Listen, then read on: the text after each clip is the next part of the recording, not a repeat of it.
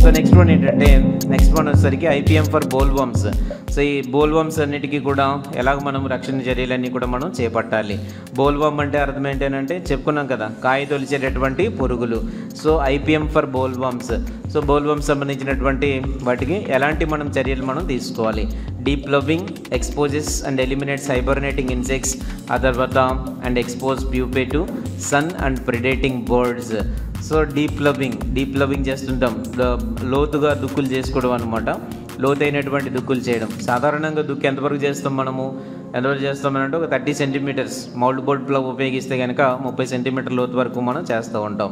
అదే సబ్సాయిలర్ అలాంటివన్నీ ఉపయోగిస్తే అరౌండ్ సిక్స్టీ సెంటీమీటర్ లోతు వరకు చేస్తుంటాం అనమాట సాధారణంగా చేసేది థర్టీ సెంటీమీటర్. మామూలు నాగళ్ళు ఇలాంటివి ఉపయోగిస్తే థర్టీ సెంటీమీటర్ కంటే ఇంకా పైనే చేస్తూ ఉంటాం అనమాట సో ఏదైనప్పుడు కూడా డీప్ లవ్వింగ్ అవసరం. అంటే మినిమం థర్టీ సెంటీమీటర్స్ లోతుగా మనం దుక్కి చేయాలి. ఎప్పుడైనా కొన్ని ప్రత్యేకమైన పరిస్థితుల్లో సబ్సాయిలర్స్ లేదా చిజిల్ ప్లవ్ ఇలాంటివన్నీ వాడినప్పుడు సిక్స్టీ సెంటీమీటర్స్ వరకు అయితే వెళ్ళొచ్చు అనమాట deep ploughing exposes and eliminates hibernating insects. So చాలా వరకు ఈ కీటకాలన్నీ కూడా ఏం చేస్తుంటాయి అనమాట హైబర్నేషన్. దాంట్లో అక్కడ కాలం గడుపుతూ ఉంటాయి లోపల. ఓకే సుప్తావస్థలో వాటి కాలాన్ని అన్నింటిని కూడా గడుపుతూ ఉంటాయి అనమాట సో అవన్నీ మనం దుక్కి చేసినప్పుడు ఆటోమేటిక్గా బయటికి ఎక్స్పోజ్ అయిపోతాయి. సో మౌల్ బోర్డ్ నాకు లేసినప్పుడు లోపల మట్టి బయటికి బయట మట్టి లోపలికి తిరగబడుతుంది అనమాట ఇన్వర్షన్ ఉంటుంది దాంట్లో. సో అందువల్ల ఏంటంటే లోపల ఉండేటువంటి ఇన్సెక్ట్స్ కానీ హైబర్నేటింగ్ లార్వా ఇవన్నీ బయటకు వచ్చేస్తాయి అనమాట and expose pupae to sun and predating birds ఎప్పుడైతే ఇవన్నీ బయటకు వచ్చాయో ఆటోమేటిక్గా బయట పక్షులు తిరుగుతూ ఉంటాయి. ట్రాక్టర్లతో దున్నినప్పుడు వెనకాలే ఒక పక్షుల గుంపోటి కదులుతూ ఉంటుంది అనమాట ఇవి ఇక ముందు ఎప్పుడైనా దుక్కులు జరిగేటప్పుడు చూడండి. ప్రధానంగా సమ్మర్ ప్లవింగ్ అనమాట సమ్మర్ ప్లవింగ్ చేసేటప్పుడు లోపల ఉండేటువంటి మట్టి బయటికి ఎక్స్పోజ్ అయ్యేటటువంటి క్రమంలో మనకి ఏం జరుగుతుందంటే లోపల ఉండేటువంటి లార్వాలు కానీ ప్యూపల్ స్టేజెస్ కానీ అన్నీ కూడా బయటికి ఎక్స్పోజ్ అవుతుంటాయి అనమాట ఆ బయటకు వచ్చినవన్నీ ఇలాగ బయటికి రావడం భయం. వెంటనే బర్డ్స్ వెనకాల ఉండి అవన్నీ ఏరుకుని తింటూ ఉంటాయి. సో వాటికి ట్రాక్టర్ ముందు వెళ్తుంటే వెనకాల ఒక ఒక ముప్పయో నలభయో లేదా ఒక వందో పక్షులు తిరుగుతూ ఉంటాయి అన్నమాట ఎగురుతూ ఉంటాయి. ఇలాగ ఏదైనా బయటపడగానే అవి ఏరుకుని తినడానికి అవి చూస్తూ ఉంటాయి అన్నమాట సో ఈ ఇన్సెక్ట్స్ అన్నీ కూడా అక్కడ అలా బయటపడుతూ ఉంటాయి. అలా చేయడం కూడా ఒకటి. అలాగే యూనిఫామ్ డేట్స్ ఆఫ్ సోయింగ్. విత్తుకునేటప్పుడు ఒకే సమయాల్లో విత్తుకోవడం అన్నాడు. ఒక పర్టికులర్ ఏరియాలో ఒక దీంట్లో ఉండేటువంటి వాళ్ళందరూ కూడా విత్తుకునేటువంటి సమయం ఒకే సమయంలో విత్తుకోవడము. Balanced organic fertilisation keeps crop healthy and tolerant to pest attack so balanced organic fertilisation organic ఎరువులు ఇవన్నీ కూడా బ్యాలెన్స్డ్గా వేసుకోవడము అలా చేయడం వల్ల ఏంటంటే పెస్ట్ అటాక్ నుంచి మనం బయటపడడానికి అవకాశం ఉంటుంది. Border crop so border crop వేసుకోవాలి. జోవర్ మెయిజ్ బోర్డర్ క్రాప్స్ ఏంటనమాట yeah jowar and maize in two to three rows.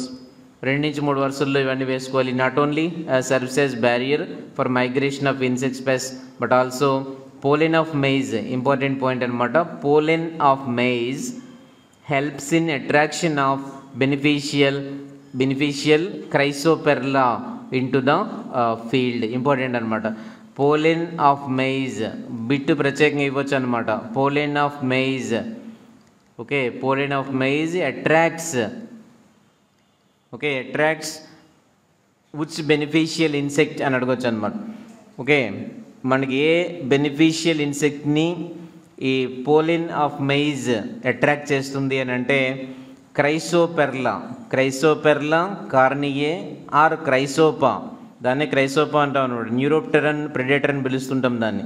న్యూరోప్టెరా దాని యొక్క ఫ్యామిలీ వచ్చేసరికి ఆర్డర్. ఆర్డర్ వచ్చేసరికి ఏంటనమాట న్యూరోప్టెరా. న్యూరోప్టెరా అనేటువంటిది ఆర్డర్కి సంబంధించింది. ఇదేంటంటే క్రైసోపెర్లా కార్నియే. క్రైసోపా అని సింపుల్గా పిలుస్తూ ఉంటాం అనమాట దేనికి బాగా అట్రాక్ట్ అవుతుందంటే పోలిన్ ఆఫ్ మెయిజ్. మెయిజ్ యొక్క అంటే మొక్కజొన్న యొక్క పోలిన్కి బాగా అట్రాక్ట్ అవుతూ ఉంటుంది. కాబట్టి ఈ బార్డర్ క్రాప్ వేయడం వల్ల ఒక అడ్వాంటేజ్ ఏంటంటే మొక్కజొన్నతో బార్డర్ క్రాప్ అంతా వేసుకున్నాం. దానికి అడ్వాంటేజ్ ఏమవుతుంది? ఆటోమేటిక్గా మనకు అక్కడ ఏమవుతుందనమాట అనమాట అట్రాక్ట్ అవుతుంటుంది. దేనికి? మొక్కజొన్నకి. దానివల్ల ఇండైరెక్ట్గా కాటన్ కూడా అడ్వాంటేజ్ అయితే అవుతుందనమాట సో ఇది కూడా వచ్చి ఇక్కడ ఉండేటువంటి కీటకాలని తినడం అన్నీ కూడా చేస్తుంది కాబట్టి క్రైసోపెర్ల కార్నియేని అట్రాక్ట్ చేసేటువంటిది ఏంటి అంటే maize crop so pollen of maize attracts which beneficial insect అని అన్నప్పుడు క్రైసోపెర్లా కార్నియే ఇది ఇంపార్టెంట్ అనమాట growing trap crops at hundred plants per acre trap crops so growing trap crops hundred plants per acre trap క్రాప్లు మనం ఎలాగో వేస్తూ ఉంటాము? వంద ఎకరానికి వంద క్రాపుల వంద మొక్కలను అయితే మనం వేయాలి. గ్రోయింగ్ ట్రాప్ క్రాప్స్ ఎన్ని మనం వేయాలి? వంద. ఒక వంద మొక్కలనైనా మనం అక్కడక్కడ వేసుకోవాలి. అవి ట్రాప్ క్రాప్స్ అనమాట castor as an ovi trap crop against Spodoptera litura ఇవి బిట్స్ ఆల్ ఇంపార్టెంట్ అండి. Castor as an ovipositional trap crop against Spodoptera litura Egmosis gregarious larvae of Spodoptera and and castor should be removed once in a week and destroyed. So ఈ castor crop కనుక మనం వేసాము అని అంటే ఈ స్పోడోప్టెరా లిచ్చురా కంప్లీట్గా దాని తాలూకు గుడ్లు అలాగే లార్వాలు ఇవన్నీ కూడా దానిపైన పెట్టుకుంటూ ఉంటుంది. కాబట్టి అన్నిటికంటే కాటన్ కంటే ముందు క్యాస్టర్ని ప్రిఫర్ చేస్తుంది కాబట్టి ఇలా చెప్తున్నాం అనమాట ఓవి పొజిషనల్ ట్రాప్ క్రాప్ అని పిలుస్తున్నారు దీన్ని. ఇలా అనమాట so castor should be removed once in a week and destroyed ఈ ఏవైతే లార్వాలు ఎగ్ మాసెస్ గుడ్ల సముదాయాలు ఇవన్నీ ఉంటాయో ఒకసారి మనం వాటి అయితే రిమూవ్ చేయాలన్నమాట.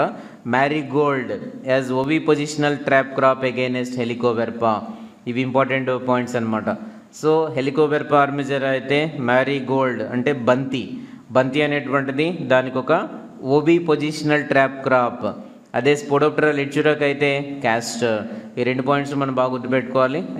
స్ట్రైట్గా అడుగుతారు అడిగే విధానమే తేడా ఉంటుంది అంతే ఆన్సర్లు ఆల్మోస్ట్ దాదాపుగా ఒకటే ఉంటాయి మనకి. అడిగే విధానంలోనే కొద్ది కొద్దిగా తేడా ఉంటుంది. ఎలా అడిగారు అనేటువంటిది ఒకటికి రెండు సార్లు మనం దాన్ని చూడాలి. ఆ ప్రశ్నని ఒకటికి రెండు సార్లు మనం చదివితే ఆన్సర్ మనకి ఈజీగా అర్థమవుతుంది అనమాట స్పోడోప్టరా లెక్చర్ అయితే క్యాస్టర్ అదే మనకి హెలికోవెరప ఆర్మిజర్ అయితే మ్యారీగోల్డ్ ఇదనమాట ఇలా మనమైతే ఆ, చెప్పుకోవాలి. ఓక్రా. ఓక్రా అంటే బెండి. బెండి against spotted bollworms spotted bollworms అయితే ఓక్రా. ఈ మూడు అన్నమాట. ఓక్రా అంటే బెండి. దీని బోల్వామ్స్ అన్నిటికీ ట్రాప్ క్రాప్గా దీన్ని వాడతాం అనమాట next one spray marigold okra plants with endosulfan or phosalone to minimise larval population ఈ ఎండోసల్ఫాన్ మాత్రం వీళ్ళైతే వదలరు. సో అలాగా తరతరాలుగా దాన్ని అలా అంటూనే ఉంటారు. ఇది మార్కెట్లో దొరకదు. దొరకదని మన థర్టీ వన్ మెటీరియల్లో కూడా ఇచ్చారు మళ్ళీ. వన్ థర్టీ వన్ మెటీరియల్లో ఇప్పుడు అవన్నీ కూడా మార్కెట్లో బ్యాన్ చేశారు. దొరకవని కూడా ఉంది మనకి ఎండోసల్ఫాన్ గురించి. ఏ గ్రూప్కి చెందింది? ఎండోసల్ఫాన్ అనేటువంటిది. అండి? సైక్లోడయిన్స్. సైక్లోడయిన్సే కదా. సో దాంట్లో ఉండేటువంటివి ఏవి కూడా మార్కెట్లో దొరకట్లేదు అని చెప్పి ఒక పెద్ద స్టేట్మెంట్ ఒకటి ఇచ్చి మళ్ళీ ఇక్కడేమో ఎండోసల్ఫాన్ వాడమని మనకి చెప్తున్నారు అనమాట ఎంత ఇదో చూడండి మరి. ఎక్కడ ఎక్కడ దొరుకుతుంది మనకి? మార్కెట్లో ఎక్కడ దొరకకపోతే ఏం చేస్తామండి?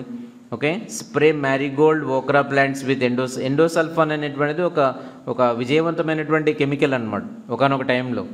సో ప్రతిదానికి కూడా అది బాగా పనిచేస్తూ ఉండేటువంటిది. కానీ ఈ ఎండోసల్ఫాన్ వల్ల మనుషులకు కూడా తీవ్రమైనటువంటి నష్టం జరుగుతుందని భావించిన తర్వాత కొన్ని కొన్ని గ్రామాలే ఎఫెక్ట్ అయిపోయి ఆ గ్రామాల్లో ఎక్కువగా ఎండోసల్ఫాన్ వాడడం వల్ల ఆ గ్రామాల్లో ఉండేటువంటి ప్రజలు అన్ని అందరికీ కూడా చాలా రకాలైనటువంటి ప్రాబ్లమ్స్ అన్నీ వస్తాయన్నమాట. చేతులు వంకరలు తిరిగిపోవడం కాళ్ళు వంకరలు తిరిగిపోవడం ఇంకా రకరకాలైనటువంటి జెనెటికల్ ప్రాబ్లమ్స్ అన్నీ రావడం ఇలాంటివన్నీ జరిగిన తర్వాత కంప్లీట్గా ప్రపంచవ్యాప్తంగా దీన్ని అయితే బ్యాన్ చేశారు. అదే కెమికల్ అయితే చాలా సక్సెస్ఫుల్ కెమికల్ అనమాట అన్నిటి మీద ఆల్మోస్ట్ మనకు వచ్చేటువంటి అన్నిటి మీద కూడా చాలా బాగా పనిచేసేటటువంటి కెమికల్గా దీని అయితే మనం చెప్పుకోవచ్చు. సో అందువల్లే దాన్ని మర్చిపోలేక ఇంకా ఎండోసల్ఫాన్ అని చెప్తూ ఉంటారు. అది ఇప్పుడైతే మనకి దొరకదు. బ్యాన్ చేస్తున్నారు. సైక్లోడైన్స్ ఏవి కూడా మనకు మార్కెట్లో ఇప్పుడైతే అందుబాటులో ఉండవు. అలా అనమాట ఫస్ట్ ఉంటే minimise larval population so spray marigold okra plants with endosulfan ఇది ఒకటి అనమాట keep ten to fifteen pheromone traps పది నుంచి పదిహేను ఫెరమోన్ ట్రాప్స్ అయితే పెట్టాలి హెక్టార్కి.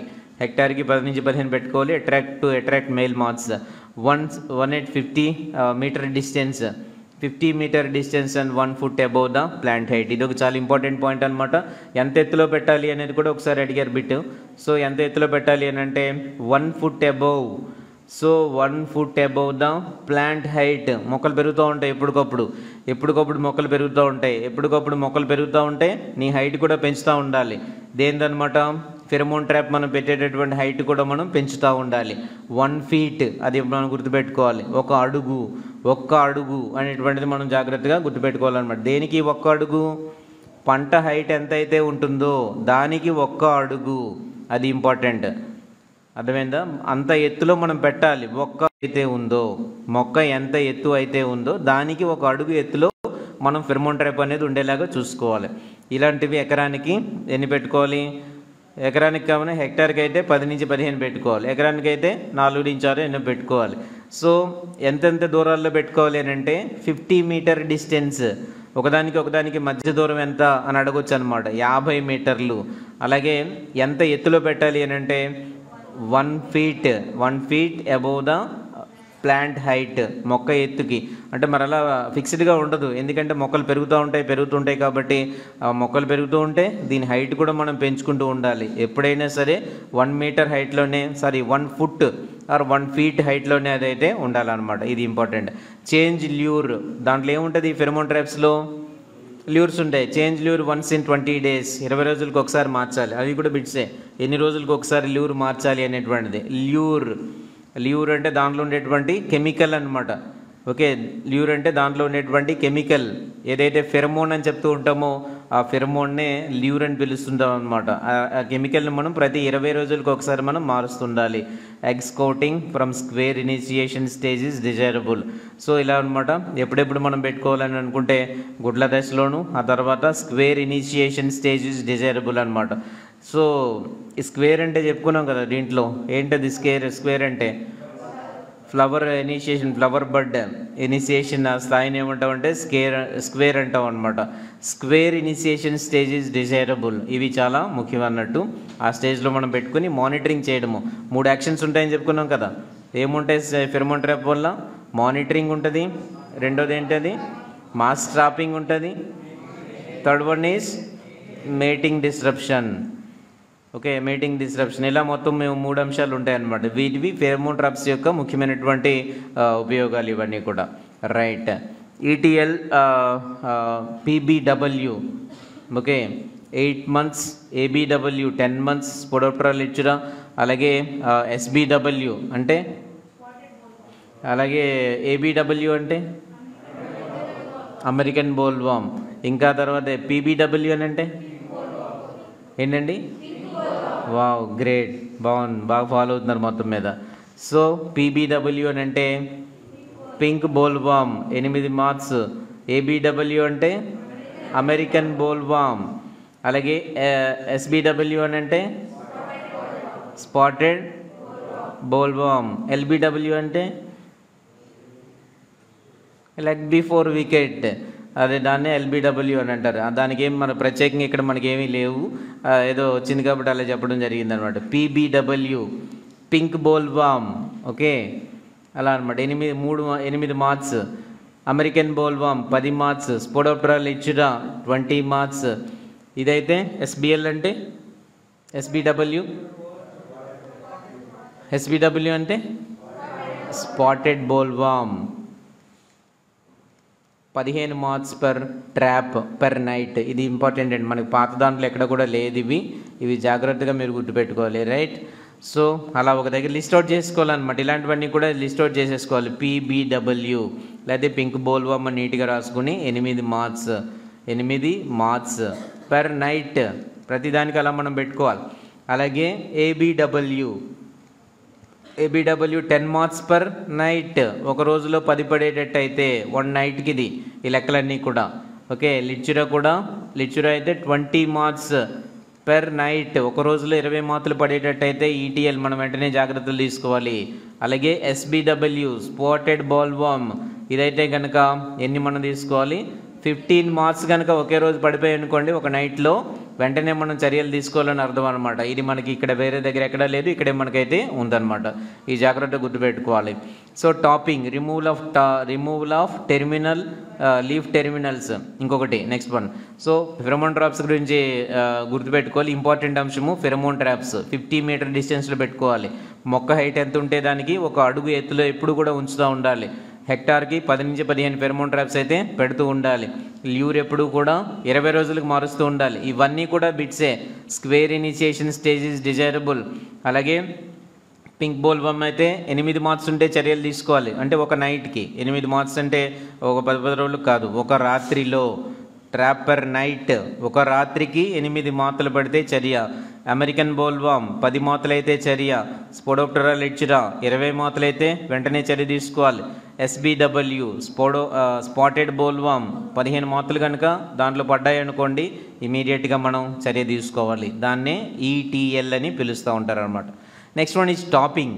Topping కూడా ఉంటుంది topping is removal of leaf terminals ఆ లీఫ్ టెర్మినల్స్ని తీసేయడం ఏమంటాం అంటే టాపింగ్ అని అంటాము. For eighty to hundred days old crop during October November since tender leaves and tips are preferred for egg laying so దీంట్లో మనం ఏం చేస్తామనంటే removal of leaf terminals so మనం జనరల్గా టొబాకోలోను వీటిలోను టెర్మినల్ బడ్ ఎలాగైతే మనం తీసేస్తుంటామనంటే అలాగే ఆ రిమూవల్ లీఫ్ టెర్మినల్స్ని అలా మనం రిమూవ్ చేసేస్తాం అనమాట ఎయిటీ టు హండ్రెడ్ డేస్ ఆ టైంలో ఎనభై నుంచి వంద రోజుల దశలో మనం ఏం చేస్తామంటే రిమూవల్ ఆఫ్ లీఫ్ టెర్మినల్స్ మనం చేయాలన్నమాట. అలా చేయడం ద్వారా ఏమవుతుందంటే November since tender leaves and tips are preferred for egg laying గుర్తుపెట్టుకోవాలి గుడ్లు ఎప్పుడు కూడా లేతగా ఉండేటటువంటి ఆకుల దగ్గర లేతగా ఉండేటువంటి భాగాల్లోనే అవి ఎక్కువగా గుడ్లు పెడుతూ ఉంటాయి అన్నమాట ఇది జాగ్రత్తగా మనం అయితే గుర్తుపెట్టుకోవాలి next one is spray five percent neem seed kernel extract NSKE ఏమంటారు దీన్ని?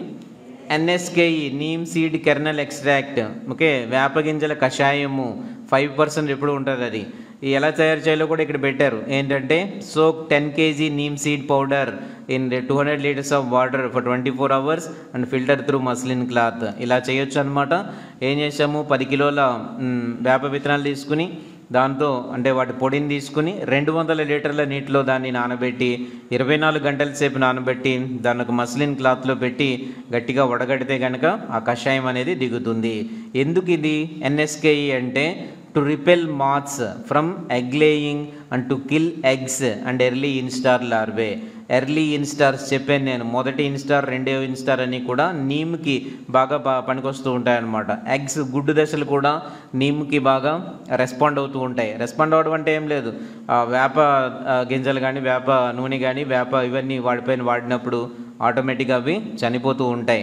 కాబట్టి గుడ్డు దశలు మొదటి ఇన్స్టార్స్ కూడా బాగా దీనికి ఇదిగా ఉంటాయి కాబట్టి అవి చనిపోతూ ఉంటాయి అన్నమాట so ten KG neem powder in two hundred litres of water for twenty four hours and filter through muslin cloth ఎందుకు అని అంటే to repel moths from egg laying and to kill eggs and early instar larvae మూడు పనులు అయితే చేస్తుంది అనమాట so మాతలు ఏవైతే ఉంటాయో రెక్కల పురుగులు ఏవైతే ఉంటాయో అవి గుడ్లు పెట్టకుండా చేస్తుండే రెక్కల పురుగుల్ని గుడ్లు పెట్టకుండా చేస్తుంది. గుడ్లు పెడితే గుడ్లను చంపుతుంది. ఎర్లీ ఇన్స్టార్ లార్వాస్ను కూడా చంపుతుంది. నీమ్ ప్రోడక్ట్స్ ఏవైనా సరే. ప్రధానంగా ఎన్ఎస్కేఈ. ప్రధానంగా ఏంటనమాట ఎన్ఎస్కేఈ. ఇది మొత్తం మీద ఇంకా ఈ- వీటిని కంట్రోల్ చేయడానికి మనం తీసుకునేటటువంటి జాగ్రత్తలు ఇవన్నీ కూడా చాలా ఇంపార్టెంట్గా మనం చూడాలి. ఎగ్జామ్లో వీటి మీద ఎక్కువ బిట్స్ అయితే రావడానికి ఉంది install T shaped or long dried twigs అన్నమాట. అంటే కొమ్మలు పెట్టాలి లేదంటే టీ షేప్లో ఉండేటువంటి కర్రలు పెట్టడం ద్వారా వీటినే పక్షి స్థావరాలు అని పిలుస్తూ ఉంటాం అనమాట ఎకరానికి ఇరవై పెట్టాలి. ఎకరానికి ఇరవై పక్షి స్థావరాలు పెట్టాలి. Collection and destruction of fallen premature bolls ముందుగానే రాలిపోయినటువంటి లేత కాయలు ఇలాంటివన్నిటిని కూడా కలెక్ట్ చేసి వాటన్నిటిని కూడా నాశనం అయితే చేయాలి. అలాగే spray NPV NPV nuclear polyhedrosis virus దీన్ని two hundred larval equivalents per acre అనమాట లార్వల్ ఈక్వ రెండు వందల లార్వాలకు సమానమైనటువంటిది ఎకరానికి. In combination with jaggery one KG బెల్లం KG Sandovit hundred ML or Robin Blue Robin Blue hundred fifty grams thrice at ten to fifteen days interval and observing the eggs or first instar larvae in the evening hours so ఎన్పీవీని మనం అయితే ఉపయోగించవచ్చు అనమాట in combination with jaggery బెల్లము అలాగే Sandovit అయితే వంద milli లీటర్లు Sandovit అనేది ఏంటి? అండి? స్టిక్కర్ శాండోవిట్ అనేది ఏంటంటే ఒక స్టిక్కర్ అన్నమాట. స్టిక్కర్ అంటే దాన్ని దాని మీద అతికించేటటువంటి పదార్థము. శాండోవిట్ ఇంకేమైనా ఉన్నాయా? టీపాల్. టీపాల్ అనేటువంటిది ఒకటి ఉంటుంది. అలాగే శాండోవిట్ అనేటువంటిది ఒకటి ఉంటుంది. శాండోవిట్ ఇవన్నీ లేకపోతే మన దగ్గర ఏముంటాయి అనమాట డిటర్జెంట్స్. రకరకాలైనటువంటి డిటర్జెంట్స్ ఏవైతే ఉంటాయో ఇవన్నీ కూడా మనకి స్టిక్కర్స్ లాగే పనిచేస్తూ ఉంటాయి. కాబట్టి రాబిన్ బ్లూ తెలుసా మీకు అది? రాబిన్ బ్లూ అనేటువంటిది మార్కెట్లో అట్లీస్ట్ మనకి రాబిన్ బ్లూ నీలిమందు. రాబిన్ బ్లూ అనేటువంటిది అది కంపెనీ పేరు అది. నీలిమందు అనేది ఉంటుంది అనమాట తెల్లటి బట్టలు ఉతకడానికి ఈ నీలి మందును వాడుతూ ఉంటారు. అన్నీ ఉతికేసిన తర్వాత చివరిలో ఆ నీళ్ళ మందులో కూడా ముంచిన తర్వాత బట్టలు ఆరబెడుతూ ఉంటారు. అలా చేయడం వల్ల ఏమవుద్దో నాకైతే తెలియదు కొంచెం అవి షేడ్ మారుతుంది అనుకుంటా. కొంచెం వైట్ వైటిష్ కలర్ అంతా పోయి బ్లూ కలర్లో తయారవుతుంటుందేమో. చిన్న బ్లూ కలర్ వస్తే ఏదో సంథింగ్ ఏదో జరుగుతుంది దానివల్ల మొత్తం మీద. రాబిన్ బ్లూ వాడుతుంటారు. నీలి మందు. ఇప్పుడు వాడుతున్నారు లేదు తెలీదు. రాబిన్ బ్లూ అనేటువంటిది ఒకటి ఉంటుంది అనమాట నీలి మందు అంటారు. అది అదేనే వాడచ్చు. లేదంటే ఏదైనా డిటర్జెంట్స్ ఏవైనా సరే వాడచ్చు అనమాట ten to fifteen days interval and observing the eggs or first instar larvae in the evening hours సాయంత్రం పూట ఇలాగ ఫస్ట్ ఇన్స్టార్ లార్వేలు మొట్టమొదటి కనిపించగానే మనం చేయాల్సింది ఇదనమాట. ఎన్పీవీ స్ప్రే చేయాలి. NPV two hundred larval per acre in in combination with jaggery one KG Sandovit hundred ML Robin Blue fifty grams ఇవన్నీ కలిపి దాని మీద పిచికారీ చేస్తే డెఫినెట్గా మనకి అవి ఎర్లీ ఇన్స్టార్ లార్వాస్ అన్నీ కూడా ఇది అవుతుంటాయి the disease larvae are die after four to five days showing tree top symptom రాత్రి చెప్పుకున్నట్టున్నాము tree top symptom tree top disease అని పిలుస్తూ ఉంటారు. Tree top tree top disease అర్థమేంటి tree top చెట్టు పైకి పైకి వెళ్ళిపోతాయి అనమాట ఏదైనా దానికి ఇదైనప్పుడు ఏం జరుగుతుందని అంటే అంటే ఎన్పీవీతో అటాక్ జరిగినప్పుడు ఏమవుతుందనంటే ఇంకా పైకి చెట్టు పై భాగంలోకి వెళ్ళిపోయి అక్కడ క్రిందకి వేలాడుతూ చనిపోతాయి. దాన్ని ఏమంటారంటే tree top disease important bit అది. ట్రీ టాప్ డిసీజ్ దీనివల్ల వస్తుందంటే ఇలా అనమాట right tree top disease. Top sickness అని ఎక్కడో చదివాము దేనివల్ల వస్తుంది? Top sickness. Last time AGRICET bit అండి అది తెలంగాణలో. టాప్ సిక్నెస్ ఇన్ టొబాకో అనుకుంటా. అండి? బొరాన్ లోపం వల్ల వస్తుందంటారా? టాప్ సిక్నెస్ ఇన్ టొబాకో అనేటువంటిది ఒకటి ఇచ్చారు. మన అన్ని డెఫిషియన్సీలు మనం అన్ని ఒక లిస్ట్లో పెట్టుకుని ఉన్నాము. అయితే టాప్ సిక్నెస్ అని ఒకటి ఉంటుంది అనమాట టాప్ అని వచ్చింది కాబట్టి అది కూడా నేను చెప్పాను. సో బోరాన్ మేబీ బోరాన్ లోపం వల్ల అయ్యి ఉండొచ్చు టాప్ సిక్నెస్ ఇన్ టొబాకో అనేటువంటిది ఒకటి అనమాట లోపాలన్నీ మనం చదువుకోలేదు దగ్గర. So tree top disease tree top disease అంటాం దీన్ని. ఏంటిది ట్రీ టాప్ అంటే? మొక్క పై భాగానికి వెళ్ళి అక్కడ ఏలాడుతూ చనిపోతాయి. అందువల్ల ఇలా ఎప్పుడు అది ఎన్పివి మనం పిచికారీ చేసినప్పుడు ఇలా జరుగుతూ ఉంటుంది. నెక్స్ట్ వన్ ఈ spray commercially available BT formulations Bacillus thuringiensis formulations ఏమున్నాయంటే? Dipel Delfin Biofit bio bitter fit Halt ఇవన్నీ కూడా అనమాట ఇవన్నీ బీటీ ఫార్ములేషన్స్ ఇవన్నీ కూడా ఉపయోగించవచ్చు అనమాట four hundred grams sir four hundred ML per acre against Helicoverpa armigera BT formulation దేనిపైన బాగా పనిచేస్తుందంటే హెలికోవెర్పా ఆర్మిజెరా పైన బాగా పనిచేస్తూ ఉంటాయి. On the basis of ETLs ఈ ఈటీఎల్ బేసిస్ మీద spray the following insecticides so ETLs మనకు తెలుసు కదా దాన్ని బట్టి మనం ఈ మందులు అయితే మనం పిచికారీ చేయాలన్నమాట. ఏ మందులు అవి ఎండోసల్ఫాన్ అయితే two ML chlorpyrifos two ML clay quinalphos two ML per litre methyl parathion one ML per litre carbaryl three grams per litre triazophos two ML per litre thiodicarb one point five grams per litre profenofos two ML per litre ఇలా అనమాట జనరల్గా మనం ఉపయోగించేటటువంటి మందులు ఇవన్నీ కూడా. ఏదో ఒక దాన్ని తీసుకుని ఈటీఎల్ బేస్డ్గా మనం పిచికారీలు చేస్తూ ఉండాలి. Mixing mustard oil mustard oil అంటే? ఆవ నూనె ఆవ నూనె ఆవాలు. మస్టర్డ్ అంటే ఆవాలు ఆవ నూనె. Mixing mustard oil with endosulfan one is to two okay ఇది కూడా రేషియో మళ్ళీ వచ్చింది మనకి ఇక్కడ. ఓకే ఇది ఒక టెక్నిక్ అనమాట mustard oil plus endosulfan one is to two అంటే వన్ ఎంఎల్ మస్టర్డ్ ఆయిల్ అయితే two ML endosulfan one litre mustard oil అయితే టూ లీటర్స్ ఆఫ్ ఎండోసల్ఫాన్ అలా అనమాట ఇలా or chlorpyrifos one is to four improves toxicity so ఇదొకటి మనం కూడా చేసుకోవచ్చు అనమాట mixing mustard oil with endosulfan అయితే one is to two chlorpyrifos అయితే వన్ ఈస్ టు ఫోర్ ఇలా మనం అయితే చేయొచ్చు అనమాట one is to four chlorpyrifos అదే ఎండోసల్ఫాన్ అయితే one is to two it improves toxicity so in the entire schedule of spray do not spray synthetic pyrethroids for more than two rounds అదొక important అంశం అనమాట so in the entire schedule of spray మొత్తంలో చూసినప్పుడు ఏంటంటే do not spray synthetic pyrethroids for more than two rounds రెండు సార్లు కంటే ఎక్కువ సార్లు ఎప్పుడు కూడా మనం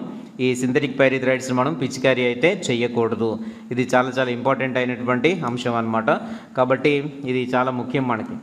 ఓకే ఈ ఇలాగ ఇవన్నీ కూడా. సో ఇప్పుడు చెప్పినవన్నీ కూడా ఏంటంటే మొత్తం రెండు రకాలైనటువంటి అంశాలు మనం ఈ క్లాస్లో అయితే చూసాము. ఏంటంటే ఒకటేమో ఐపీఎం ఫర్ సకింగ్ పెస్ ఈ twenty three lecture number twenty three అనేది ఇంపార్టెంట్లో మనం ఏం చూసామంటే IPM for sucking pests next one is తర్వాత ఐపీఎం ఫర్ బోల్బమ్స్ చాలా బిట్స్ దీంట్లో వచ్చాయి. మీరు గమనించేటట్టయితే అనేక అనేకమైనటువంటి బిట్స్ దీంట్లో నుంచి మనకి వచ్చాయి అన్నమాట ఇవన్నీ కూడా బిట్స్ ఇన్ని బిట్స్ మనం జాగ్రత్తగా వీలైతే వాటన్నిటిని కూడా ఇది చేసుకుని ఒక దగ్గర రాసుకోవడం అనేది చాలా చాలా అవసరము.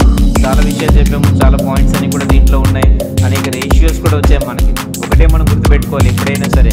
ఎక్కడైనా సరే మనం అగ్రిషన్లో గుర్తుపెట్టుకోవాల్సింది ఏంటంటే నెంబర్స్ ఎక్కడున్నా సరే అదొక బిట్ ఓకే రెండోది ఏంటంటే రేషియోస్ ఎక్కడున్నా సరే అదొక ఇంపార్టెంట్ బిట్ అని మనం గుర్తుపెట్టుకోవాలి. ఎనీ రేషియో ఏదైనా సరే అదొక ఇంపార్టెంట్ బిట్ అలాగే మూడోది ఏంటి?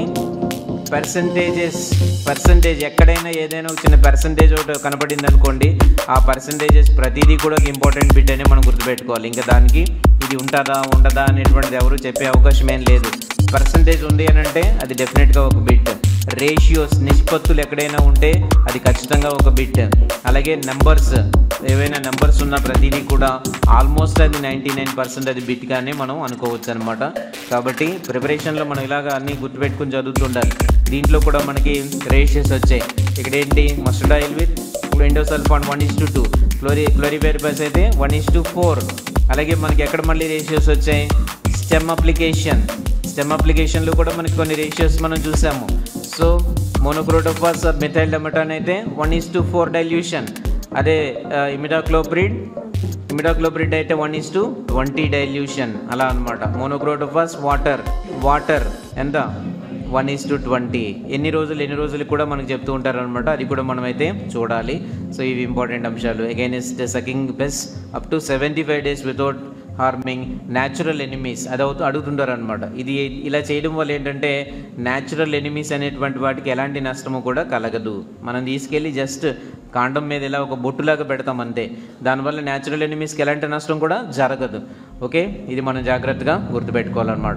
సో ఇవి కొన్ని ముఖ్యమైనటువంటి అంశాలండి. Integrated pest management in cotton IPM in cotton లేటెస్ట్గా చెప్పేది lecture number twenty three. Sucking పెస్ట్కి చెప్పుకున్నాము అదేవిధంగా మనం దేనికి చెప్పుకున్నాము? బోల్వామ్స్ కూడా దీని గురించి అయితే మనం చెప్పుకోవడం అయితే జరిగింది. ఇది చాలా ఇంపార్టెంట్గా మనం గుర్తుపెట్టుకోవాలి. ఓకే అది విషయం.